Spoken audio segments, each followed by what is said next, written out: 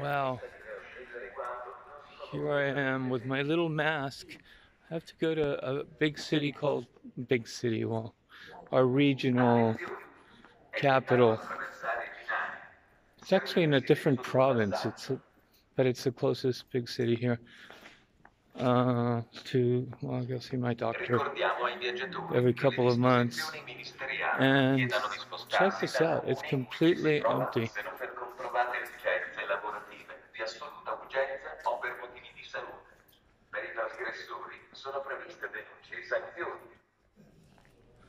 There's this warning giving some rules on what to do, what not to do. I'm carrying my little mask, Sharma.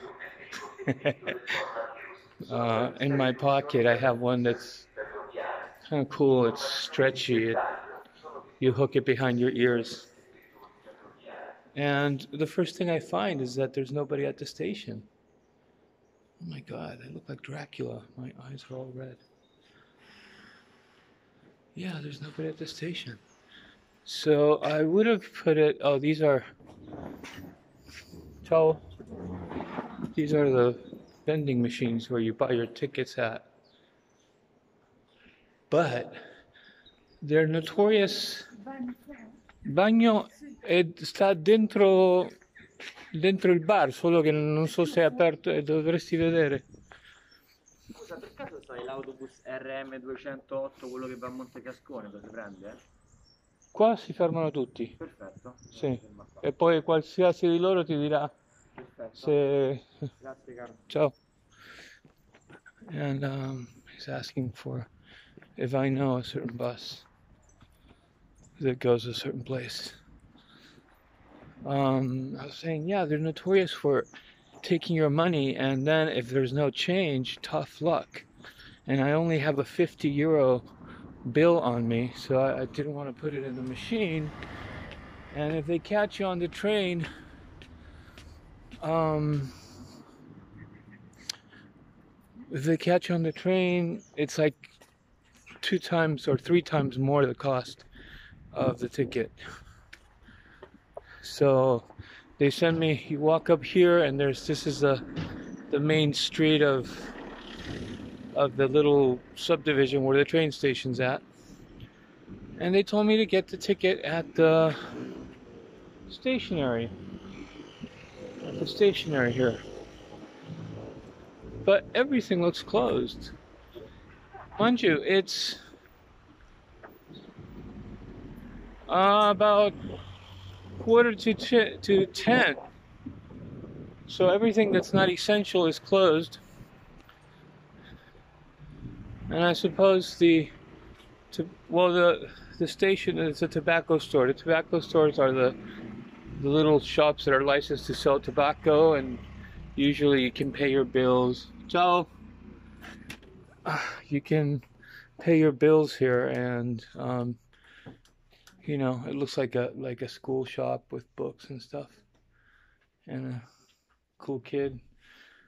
Probably the son of the the owner. Eh, un biglietto per Terni. Andate e ritorno.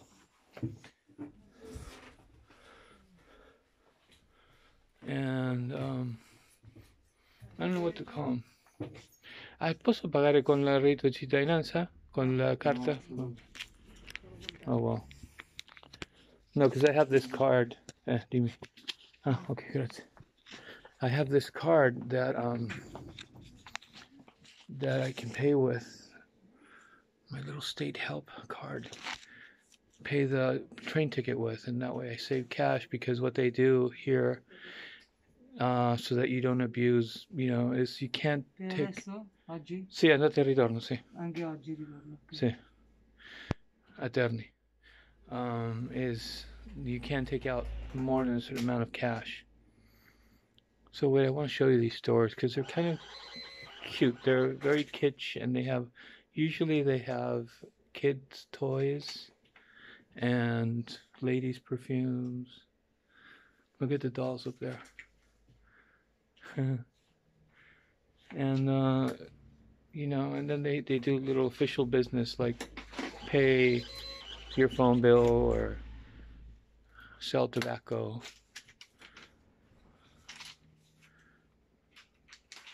Okay, I'm gonna end it here because. Questa è l'andata e questo è il ritorno. Okay. Allora, 6.30.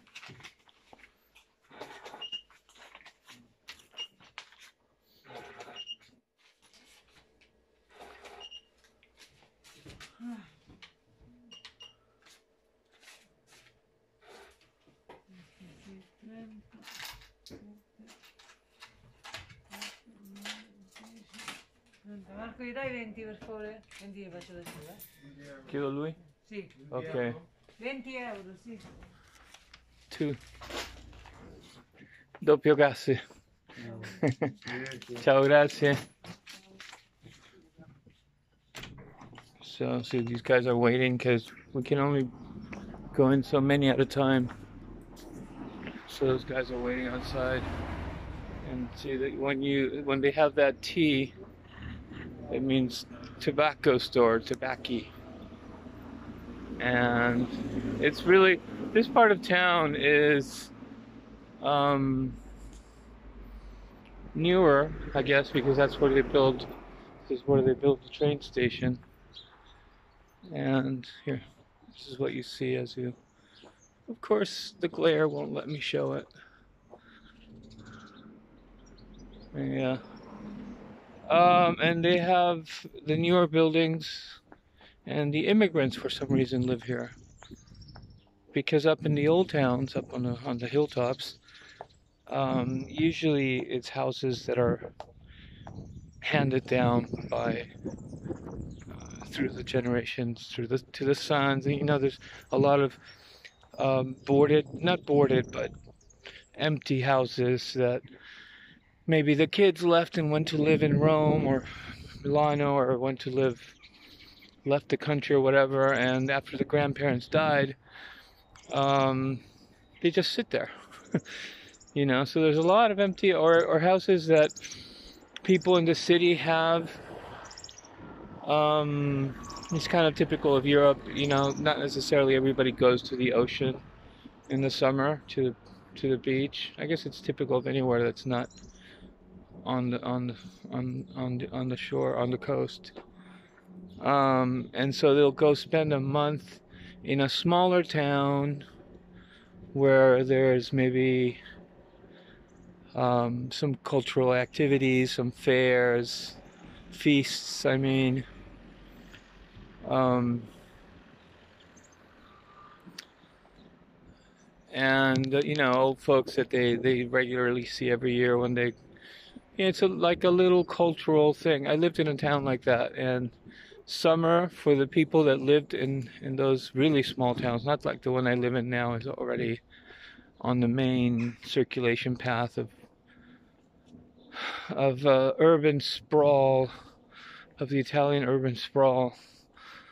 Even though it's ancient, but um, I lived in a town that uh, for example, you had to walk to the train station for about an hour if you needed a car, and everybody that lives there was old, and we were only about 700 people. And um,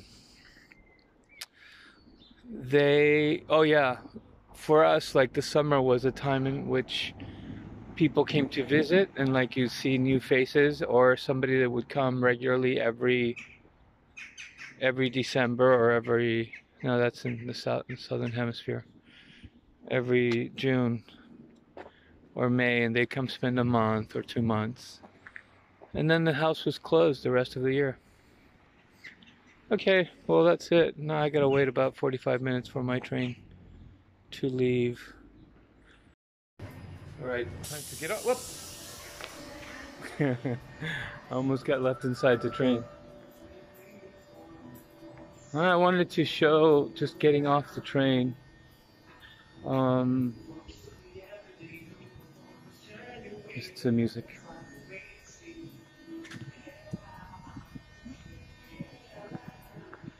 Oh, it's not so empty, but it is kind of like Ghost train, ghost train, take me. Um, this is gonna be too long if I keep recording until I get to the where the buses are that go up to the hospital. But um, there's not much to see.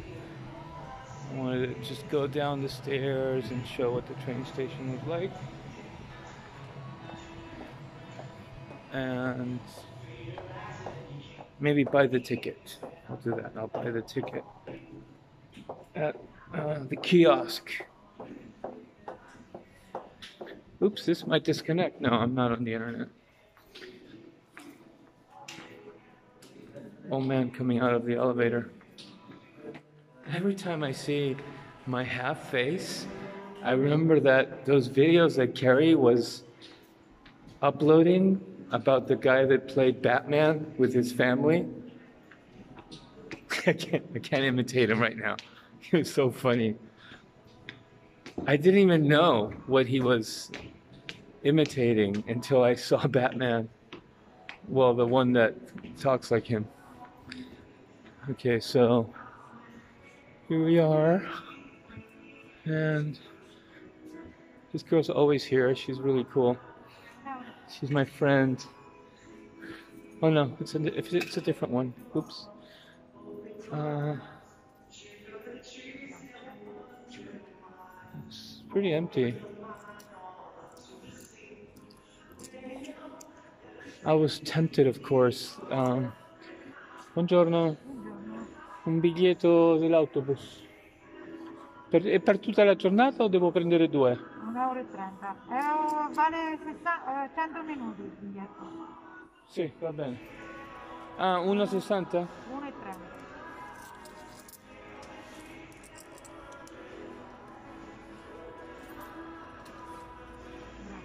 Grazie.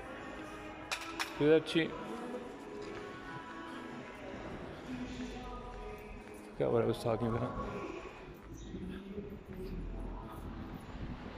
I forgot what. Okay, so this is. See, I gotta do it the other way around, right? Because I want to show what I walk towards, and if I always look backwards, it's weird. I want to get one of those poles. You go around Anyways, this is the train station. Kind of a kind of a modern deal. You can't see it from here, but there's an awesome bridge over there. Back. Oh, it's not a. Yeah, it's. Where is it? Oh, it's that that um. That circle over there. I posted a picture of it. It's a huge tower that holds up with tension cables, a bridge that goes over the tracks. Anyways. And this is uh, the infamous sculpture here in Terni because, there it is. Because Terni, I'll do a video later, not now, when I'm walking through the city I'll do it, was, is known or infamous for having been severely bombed. They leveled it. It was one of those cities like, like Dresden that the Allies uh, just carpet bombed maybe it wasn't carpet bombing here, but they targeted all the all the steel factories because this is where they made the tanks and all the steel was. Um, so when you walk around Terni, and I'll show that in the next video, you see a lot of um, newer buildings and they're more relaxed because in Italy you can't really build tall. In city in Milan they have an area now in Rome too where you can two towers, but normally cities in Italy are characterized by being no taller than six stories or five, five or six stories. And since Terni was um, leveled, bombed so heavily during the war, and when they started rebuilding, they, I guess, implemented some new codes, and so they have towers. They have apartment towers, like in cities in Argentina. It actually reminds me of, of Mar del Plata a little bit. In some places, not really, but um, nothing. Italy doesn't remind you much of any other place, unless maybe you go towards Eastern Europe, um, Russia, and the old Yugoslavia and stuff, because uh, the colors the colors are always are a certain hue. They're a certain palette of colors. Um, you don't see the bright contrasting colors that you see in the American continent uh, as a whole. You, everything is a little more muted. It's kind of interesting. You can tell just by looking around that you're in Italy or um, even if you go to Spain and France, the, the each place is characteristic, and within Italy itself, actually, you you can sort of see very slightly each area has a, a palette of colors that are more characteristics. Like if you go to Argentina, unless you go to small a small town in the interior, all the cities have the same architecture. Everything was built in the last 150 years, except Buenos Aires, of course.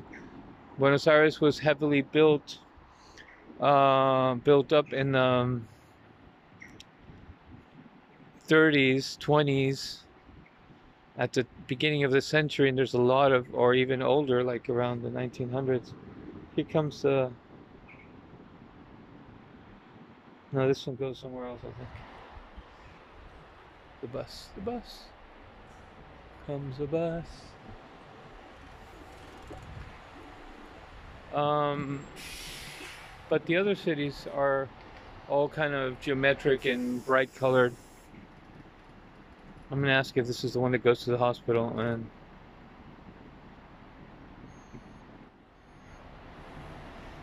I have my mask, Sharma. I have it in my pocket in case they ask me or I just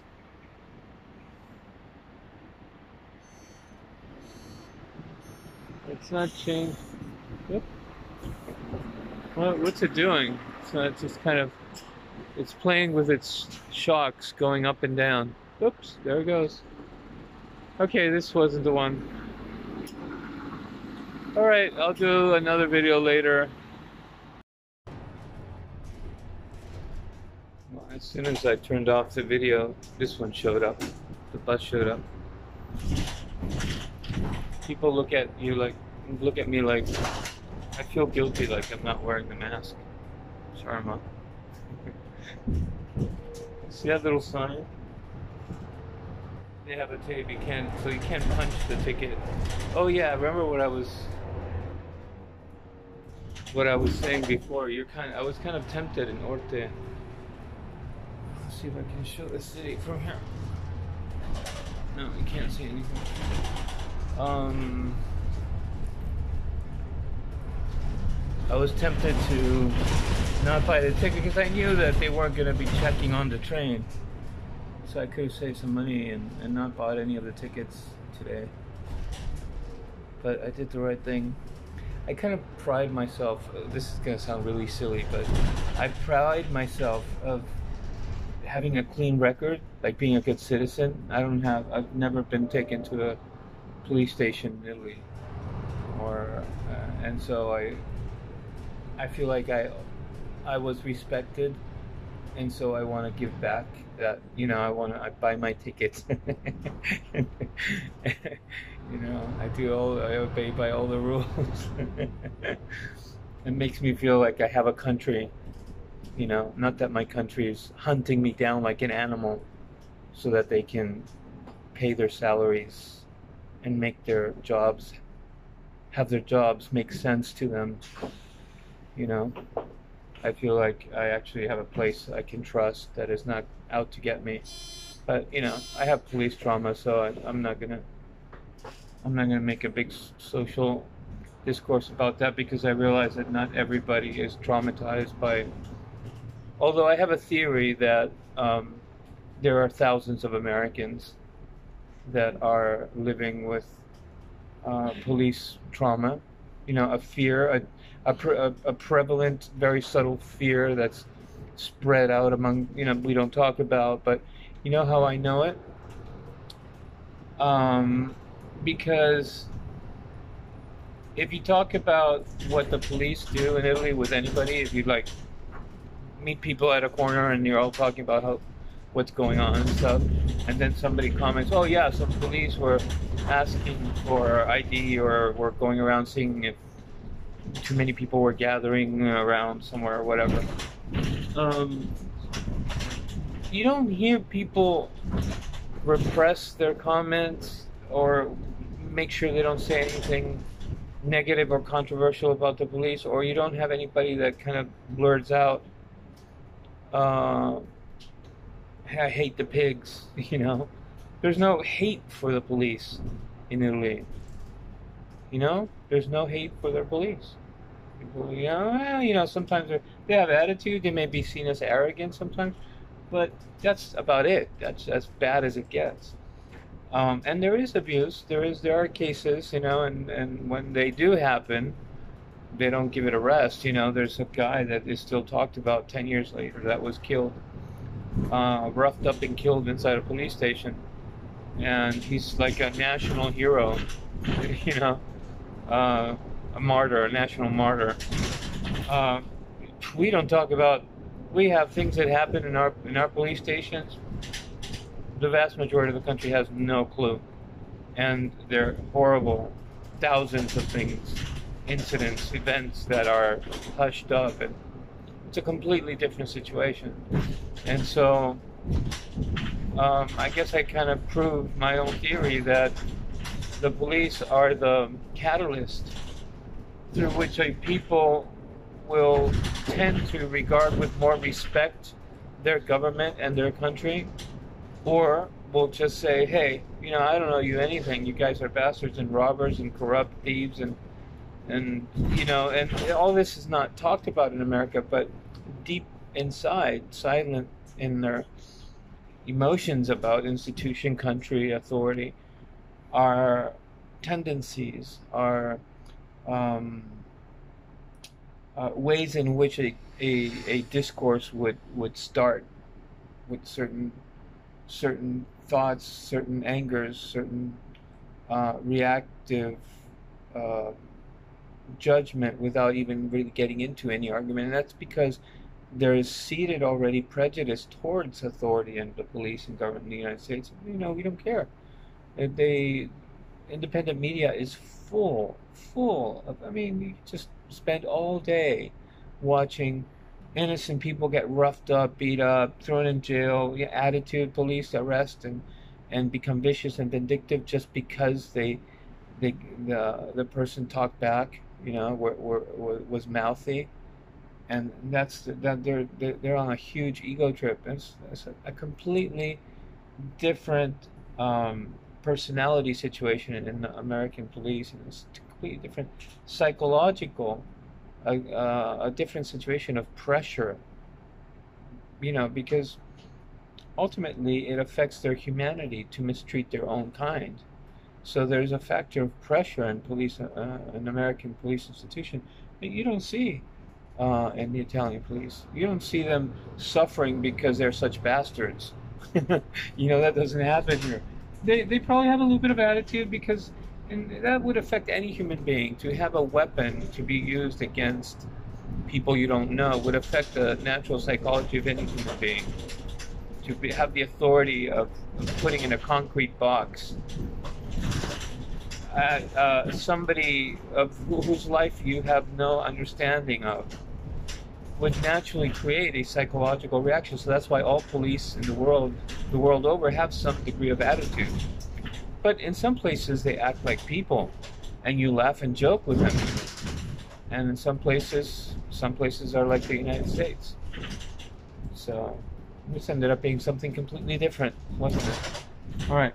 Hopefully, I'll make a fun art art spin kind of video, the last one, and I can't do too many more because I'm going to use up all my batteries.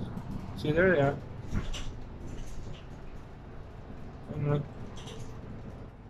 looking looking at people drive by. I'm so I'm really happy about. I can't even. You know, I get emotional. I feel like I was saved. I I I have serious trauma. I'm really happy that I'm. I don't have American police around me anymore. It's it's like a a, a, happiness. I I look at uh, Italian police with with uh, positivity, like, hey, I want to talk to you. You know, I'm so glad that, that it's you instead of them. Uh, seriously, and you know what I suspect is that a lot of Americans actually feel that way, feel the same way, but we're not talking about it. Wow, it's really so quiet. I can really feel it now because this is the main hospital in in this region of Italy, and um, you usually fe- hear a lot of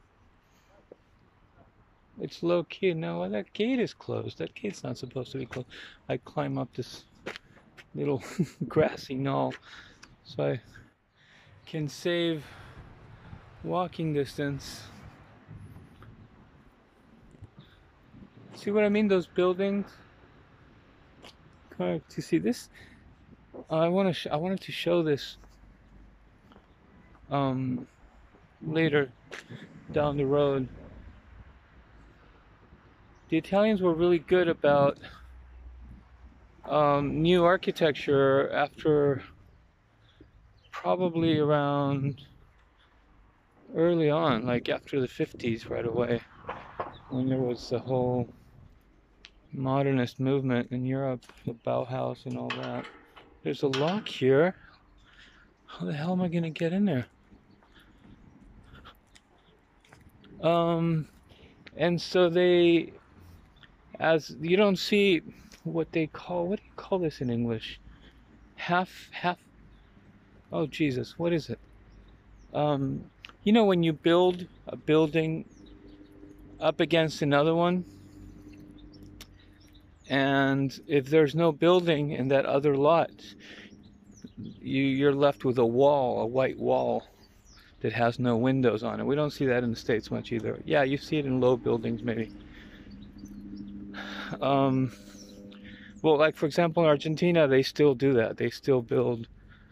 Uh, you see like towers, and then the, the the sides of the tower that are up against the the, the lot are just painted white, and maybe they have some some some cuttings that for um, interior bathrooms or rooms get some light and air. But they still they they were trying to pass laws where they no longer did this but it's a way of maximizing the lot and it makes cities look very different here there's a lot more air that goes i had to walk around this whole coming this way because they had locked that other gate um and so here they they stopped doing it. You still you see it uh, that they did it up until old buildings like in um, maybe early 1900s. You still see buildings that do that, but um, most apartment buildings that look like they were built after the 40s or 50s don't no longer have these walls. They all have room around them.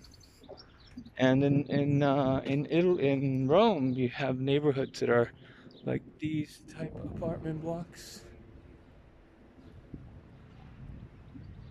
They're like little cubes set in a park.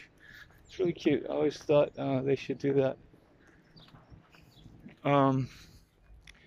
Anyways, I wanted to introduce you to my my favorite nurse in the whole world. She's just such a hoot. She makes me laugh. She's outgoing and excited all the time.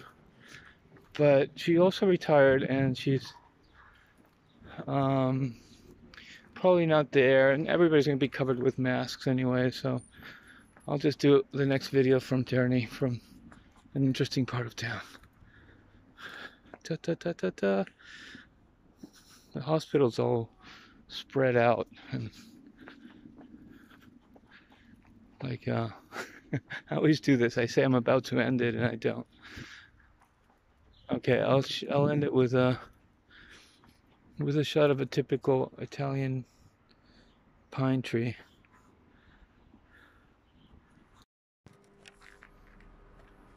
Oh, happy camper! Got my got my meds. Yeah, these these are really expensive everywhere in the world. And so in Italy, you gotta you have to go get them at the hospital. How did I do it in the states? I forgot. Pick them up. You arrange with a pharmacy or something. Anyways, I I just came out. It's so amazing. The stillness. There were just a bunch of birds before. Now they're all quiet all of a sudden but I came out and you feel this stillness. And the Terni is um is is like in a big valley, a big broad valley surrounded by mountains. One of the complaints it gets is that the air is, but actually it's beautiful. I don't know why they. It's clean, and um, it gets snow uh, up on the. I love Terni. It's so. It's like a, a little utopia. Um, with lots of roundabouts, like the one in Pahoa. Everywhere, everywhere. You walk a hundred meters, there's one, another one. Um, see, I'll just show a little bit, and then I'll record from down below somewhere else.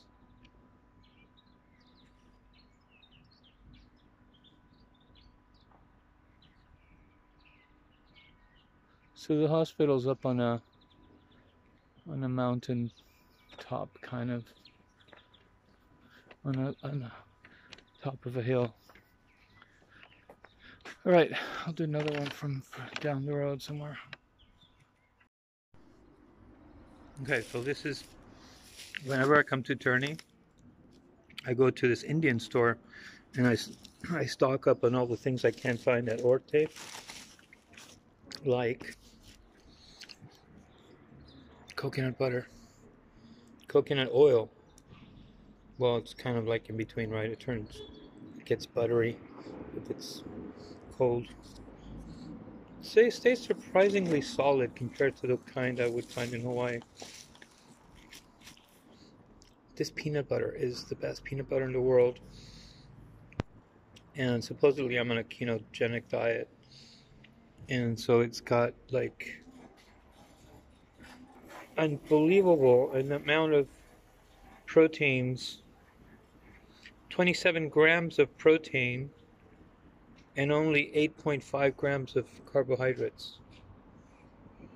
It's the one that all the Indian stores have here.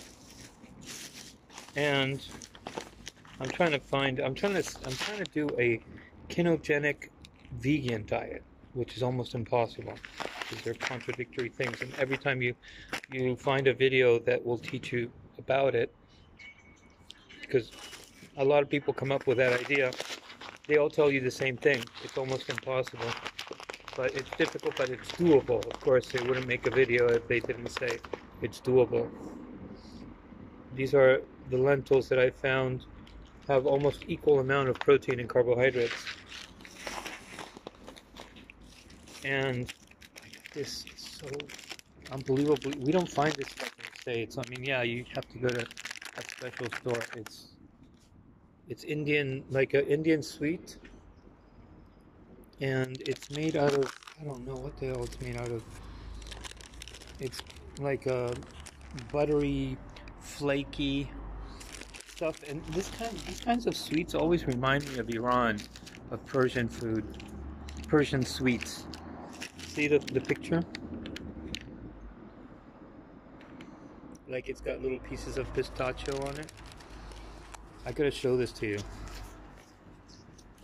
it's the texture is unbelievable it's like a flaky a flaky creamy thing that just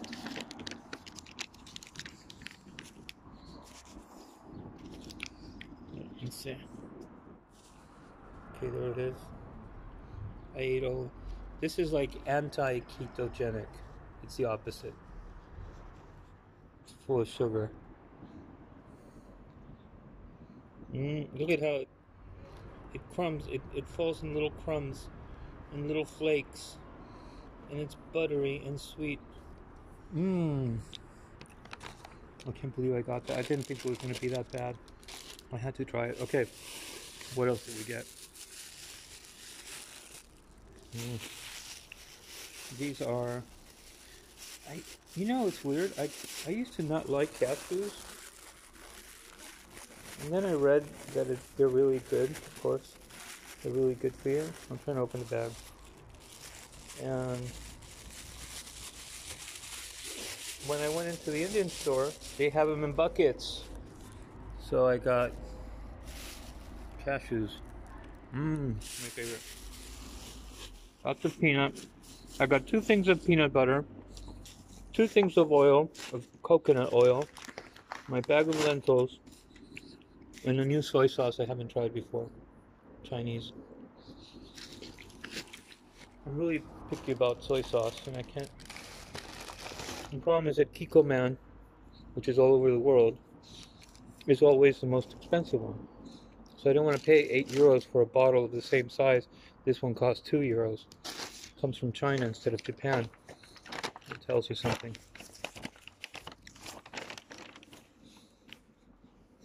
Alright, um, I got stopped by the cops, asked if I wasn't aware of the ordinance.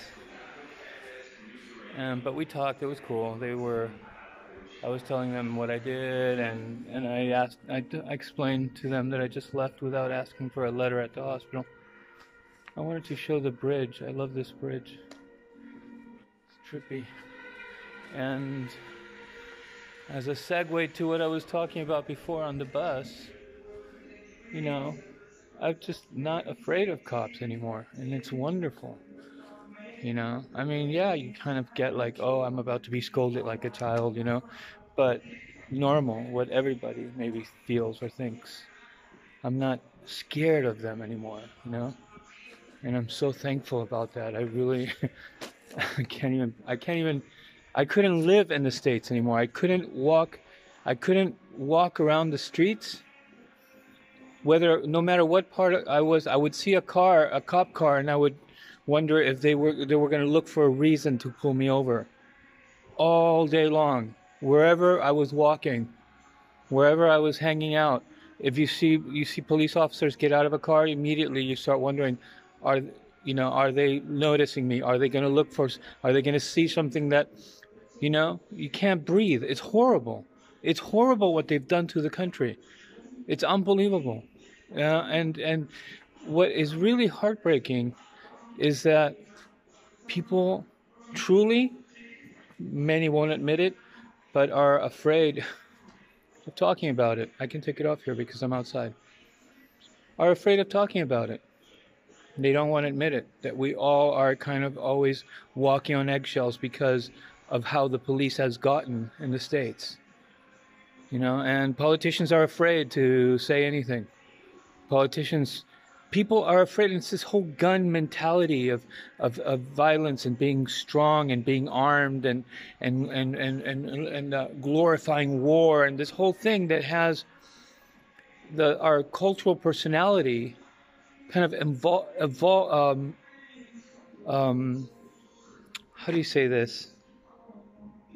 Um, characterized, you know, characterized by uh, fear of, of power and wanting to have power or armed power and wanting to be tough and strong you know this whole thing of of heroic films and and people who are who are machines at karate chopping and and you know and and falling into banks with the uh, to do the perfect uh, uh, cyber robbing of an art gallery while they're throwing out karate chops all around them. You know, this whole thing has got us thinking that we're like soldiers. That we, and so if you dared propose to a police officer that they, I mean, um, a politician, to make it an issue to tackle the question if America maybe hasn't been incarcerating like mad, uh, maniacally over sentencing and not caring about how many innocent people get thrown in jail and shouldn't that be an issue? People immediately subconsciously is my belief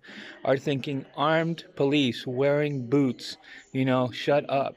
It's like this subconscious um, and it's not a ridiculous assertion actually socio there is psychology and sociology people are a cult have uh, are conditioned in, in a cultural personality to subconsciously uh, feel and think about uh, civil life and society a certain way. these are valid issues, and it's really sad. It's really, really sad that uh, our politicians, our leaders, because are afraid and intimidated in, in, in, in, in saying and uttering maybe police are too forceful, maybe they're scaring our citizens into into uh, into into ultimately resulting in disrespect and loathing of government and authority. And isn't this an issue? They're afraid of saying that. I don't know if anybody has has become aware of this, but have you ever heard any politician, a mayor, a governor, ever talk about excessive force, uh, over incarceration? They don't touch police brutality. They don't touch um, uh, innocent in jail. They they're all afraid. They stay away from it, like like you know, like it was something that is is too hot. We got to keep a distance from. Unanimously, unanimously. I have never in my whole life, you know, and this doesn't happen in other countries. Many other countries, many other countries actually make an issue of it. They, here in Italy, they talk about, uh, you know, are do we have too many people in jail? Are is are the conditions? Here we talk about over in the states we talk about overcrowding a little bit, but it's almost very functional. Like, are we are we maintaining the prison population effectively enough? And then we just jump out of the subject. We don't touch it anymore. We don't talk about the human, the suffering, the, the, the possible injustice and imperfection, uh, the brutal and human imperfection of, of artifice, which is a human designed institution that can fail, that can err, that can make mistakes, that can get the wrong person, that can list, believe uh, liars. You know, there's tons of people that are, have been thrown in people because of other citizens that have lied. they have lied. I know this happens all the time. The law, if you want to get philosophical about the about the the the, the philosophy of law, you know, it doesn't really take into consideration its own vulnerability, the institution's vulnerability to the to lying of people, people that consciously think, "Oh, I'm going to use the," you know, there's supposedly some some laws to that would punish that, but it doesn't exist. They're never used. They're never. Uh, you never hear of somebody uh, getting thrown in jail because they lied about an accusation. When has that ever happened? So, and, and yet, the mechanisms st- start up, regardless of the quality of the accusation, regardless of whether the accusation is false it's a, a vicious lie to get somebody in trouble, uh, police uh, corruption, whatever. It doesn't matter. The two sides take their positions, and it's a matter of one trying to defend the person from the other one trying to find that person guilty, regardless of what happened. So what happens is in America, in our in our polarized judicial system, is that arbitrarily anybody can come under the the view the analysis um, of the law. Anybody can be accused of something and put before a court, right? And once you're in that space, so we're talking about the randomness and and the um, the arbitrariness of any citizen, anything that could have happened, anything that could be said, or or anything that did not happen. Any citizen will find themselves because of an accusation put before the judge. Once you're in that position, you will have a person whose job it is to find you guilty, whether you did that thing or not. And so, what happens? It's almost like um, like a chewing machine. Our institutional, our our judicial system is like a it's like a trap. It's like it's like a, a board game where you, if you you happen to fall on the wrong square, oops, you're instantly put in a 50-50. Maybe you're thrown in jail for the rest of your life. Maybe you walk out free. Regardless, irrelevant to um, to whether any you did actually did anything. Some people will argue this is crazy. That's it's not how it works, but it is actually how it works. Um, you know, there's all this this this whole construction of logic, mm, probable cause, and da da da da, and a bunch of stuff that will say the system works. People will will explain how it may appear that way, but in reality the system works, but it's not true because you actually see it all the time. You see people. It's documented now. It's recorded. There's tons of cases documented by not just independent journalism, but cases that are even mentioned by mainstream media of people that apparently are innocent, and yet they fell into the system where because they were snagged by one of by 50% of the system, the ones that whose job it is to find them guilty, they are they're snagged in something that they may have not done.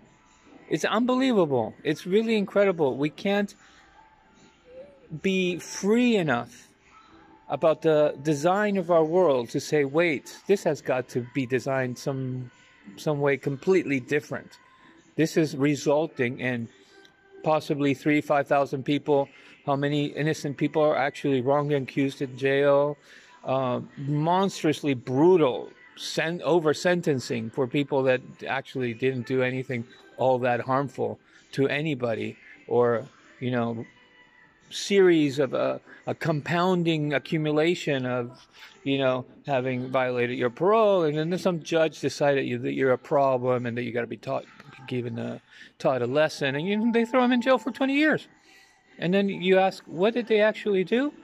It, it's unbelievable, and that politicians are afraid, are afraid of speaking before they are afraid. you don't see it, but push and push and pressure a politician to talk about certain things, and they will, you know, they will uh, wiggle and wiggle and and, we, and try to get out of the situation or lie and and, and, and present a stone-faced explanation of what they actually think about that. And but they'll basically they're afraid of doing things that will undermine their uh, power, their platform, their their uh, a position of power over wealth and privileges and everything that, that their position of in, in, in life has uh, has delivered them onto. And so when anything scares somebody in a position of, of wealth, power, money, authority, uh, of losing that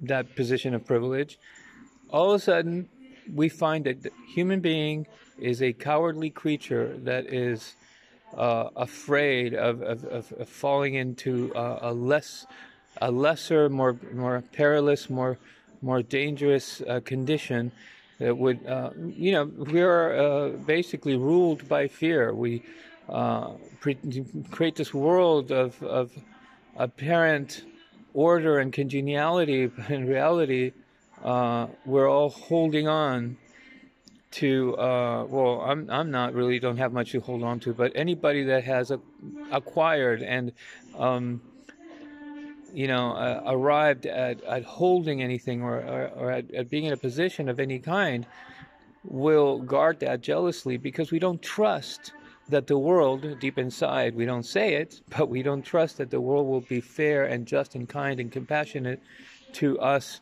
being in a more vulnerable uh, or less powerful situation. So basically, we evolved in fear, and so we are always escaping um, fear subconsciously. We evolved for 95% of of our path, uh, not really being the the top of the food chain, but being vulnerable to other animals, to uh, conditions of the earth, uh, forces of, of of what have you. We our mind has evolved an environment of, of, looking out to what can happen. You know what what can assail you, what can um, uh, attack you. So we're always a little edgy. Subconsciously, we don't see it. That's not the human being that we see, but the forces and the dynamics that rule our decisions ultimately in silence are uh, come from an evolution of fear and so the reason, for example, um, the reason, for example, uh, capitalists believe in capitalism, and we know that all these um, wealth and financial power institutions and corporations uh, are, are, so greedy and they, they, they don't they're so inhuman and they have no compassion and they lie about uh, doing things for the community when in reality they're doing it for those few people who are going to benefit and get richer from with their enterprises. And all of this that we're now talking about a whole lot it all has to do with basically the human being not wanting to let go of something that allows them to feel a little less fear in their existence. Of course none of us are conscious of, of us acting because of this uh, this characteristic of evolution, you know, wired into our subconscious.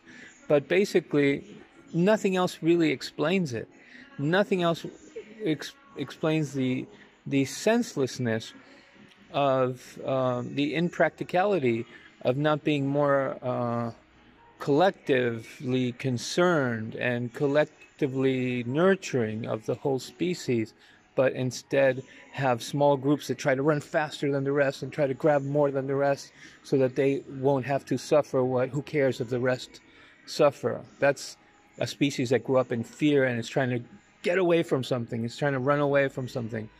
And so you get people that gather in tight groups that have power and are able to run away faster with their power and their wealth and, and make exclusivity, you know, cliques and, and groups of exclusive in different forms of, uh, of companies, institutions, positions of authority and privilege, or what have you, all these different types of structures, group structures that uh, define society are basically made by these people that want to uh, keep go- running stronger and faster and making sure that nobody penetrates their you know or, or messes with it with what they've uh, have been able to arrange in in, in in their idea of success. but that's basically all it is. That's what's underneath it all. Is us not realizing that hey, we're here alone. There's nothing to fear. The species we only have each other on the world, in the world on the world. We only have each other. There's just another one just like me. You know, there isn't there are no more tigers leaping out of the forest. We're we should be able to cure all diseases pretty soon, hopefully.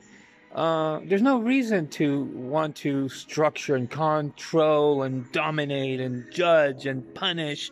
There really isn't a reason to, but that hasn't really arrived to the collective consciousness uh, that would uh, therefore deal with our, our subconscious wiring, which will never go away. But once we realize the fact, uh, the factual reality that uh, we, there isn't a big giant species chasing us around the world, we are here. We only got each other. We luckily we have each other, and not and, and don't have to worry about another species, not yet, anyways, coming to live with us in the world.